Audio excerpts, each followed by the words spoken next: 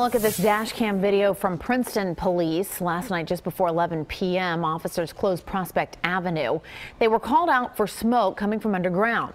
Moments later, that happened an explosion. No one was injured.